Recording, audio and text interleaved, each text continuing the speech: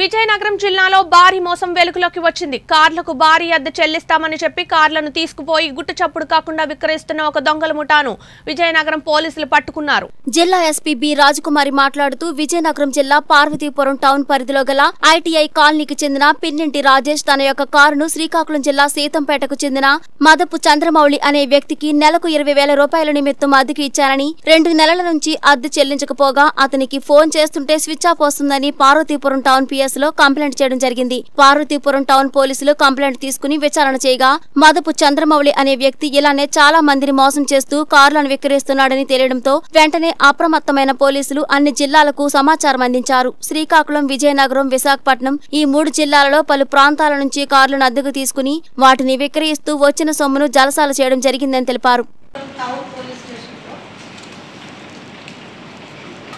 రాజేష్ అనే పార్వతీపురం ఐటీఎం కాలనీకి చెందినటువంటి కంప్లైంట్ పార్వతీపురం టౌన్ పోలీస్ స్టేషన్లో ఒక పిటిషన్ ఇవ్వడం జరిగింది. దాని ప్రకారం శ్రీకాకుళం జిల్లా సీతంపేట మండలం తన సొంత ఊరుగా చెప్పడం జరిగింది. అతను మద మదపు చంద్రమౌళి అనే అతనికి కొన్ని నెలల క్రితం అతని దగ్గర ఉన్నటువంటి స్విఫ్ట్ వీడిఐ కార్ని నెలకు ఇరవై తొమ్మిది వేల రూపాయలు అద్దె చెల్లించే విధంగా ఒప్పందం చేసుకుని అతనికి కారు ఇవ్వడం జరిగింది. అయితే ఆ తర్వాత నుంచి అతను నెల నెల అద్దె చెల్లించడం కానీ లేకపోతే కారు తీసుకురావడం కానీ లేదంటే ఇతను ఫోన్ చేసినప్పుడు అతను రెస్పాండ్ అవ్వడం కానీ ఏమీ చేయలేదు. దాంతో అతను మోసపోయినట్లుగా గమనించి మరి పార్వతీపురం టౌన్ పోలీస్ స్టేషన్కి వచ్చి అతను కంప్లైంట్ ఇవ్వడం జరిగింది. అతనికి న్యాయం చేయాల్సింది.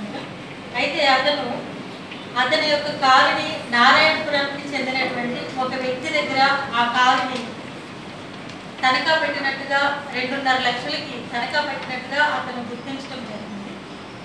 అయితే అతని కారు విలువ తొమ్మిదిన్నర లక్షలని తన కారుని తన దగ్గర తీసుకున్నటువంటి మదపు చంద్రమౌళి అనే అతను వేరే వ్యక్తి దగ్గర తనఖా పెట్టినట్టుగా తెలుసుకుని కంప్లైంట్ జరిగింది. దాని మీద ఈ మదపు చంద్రమౌళి అనే అతని మీద నిఘా పెట్టడం జరిగింది. అతని కోసం అన్ని చోట్ల కూడా ఎంక్వైరీ చేయడం జరిగింది. అదేవిధంగా శ్రీకాకుళం జిల్లాకు చెందినటువంటి పాలకొండ సబ్ డివిజన్లో మరి Mattili police station Seethampeta police స్టేషన్స్లో కూడా ఇదే విధమైనటువంటి కంప్లైంట్స్ ఉన్నట్టుగా గమనించడం జరిగింది. దాని మీద పాలకొండ పోలీసు అదేవిధంగా పార్వతీపురం పోలీసు కోఆర్డినేషన్తో వర్క్ చేయడం జరిగింది.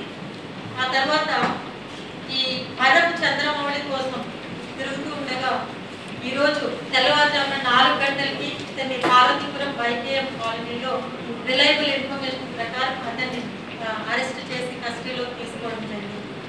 తర్వాత అతని మీడియేటర్స్ ప్రెజెన్స్లో అతన్ని కన్ఫెషన్ రాసినప్పుడు అతను చెప్పిన దాని ప్రకారం సుమారు ఇరవై తొమ్మిది కార్లు ఈ విధంగా అతను విశాఖపట్నం సిటీ అదేవిధంగా విశాఖపట్నం రూరల్ శ్రీకాకుళం విజయనగరం.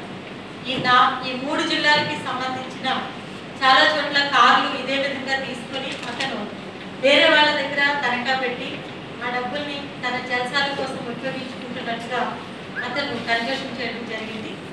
దీన్ని బట్టి ఇమ్మీడియట్గా మరి ఆ కార్లు తీసుకోవడం వివిధ జిల్లాల్లో సంబంధించినప్పటికీ వీటన్నిటినీ కూడా రికవరీ విజయనగరం జిల్లాలోనే వివిధ ప్రాంతాల్లో ఇతను తనఖా పెట్టడం జరిగింది.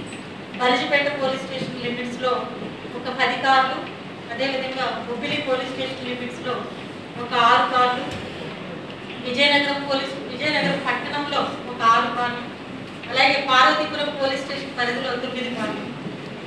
ఈ విధంగా ఈ కార్లన్నింటినీ కూడా ఇతను ఇక్కడ రెండు రెండున్నర లక్షలకి అతను తనఖా పెట్టడం జరిగింది.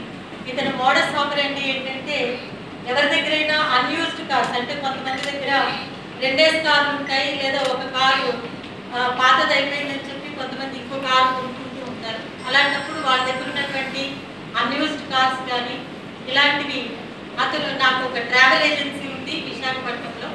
మీరు నాకు కారు ఇచ్చినట్లయితే కనుక నెలకి ముప్పై వేల చొప్పున నేను రెంట్ ఇస్తానని చెప్పేసి అతని దగ్గర నుంచి కార్లు తనఖా పెట్టడం అనేది జరుగుతుంది. సో ఇతను నెలకి ముప్పై వేలు అతికిస్తానని చెప్పి కార్ తీసుకుంది. రెండు రెండున్నర లక్షలకి మళ్ళీ వేరే వాళ్ళ దగ్గర తనఖా పెట్టాడు ఆ తర్వాత ఎక్స్పర్ట్ అయిపోతాడు. యూజ్ చేసే నంబర్లు మళ్ళీ అదే సేమ్ నెంబర్ అతను యూజ్ చేయడు. వాళ్ళు ఫోన్ చేసినా కానీ రెస్పాండ్ అవ్వడు.